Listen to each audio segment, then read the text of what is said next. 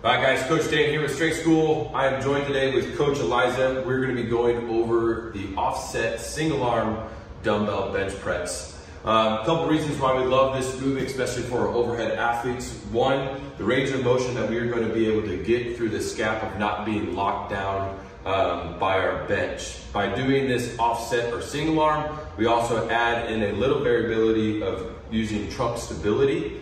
Um, and lastly, the, and most importantly, especially again with our overhead athletes, is that this requires a lot of uh, strength balance. Um, so it'll expose any imbalances that we have between right and left.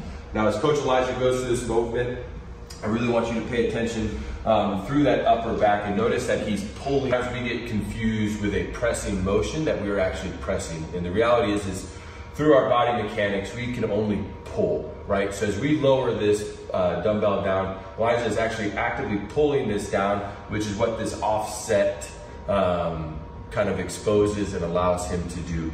From there, squeezing through that chest, having that chest pull as he presses up.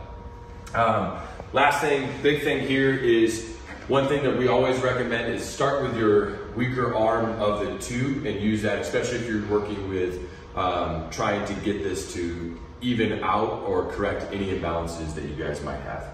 Last thing with this offset dumbbell single arm bench press is that the, the importance of your offset arm or, or your non-working arm needs to be in a position, whether it's Elijah across his chest or if you're going straight up to your side or up, it just needs to be in a position that allows you to maintain proper tension through that upper back.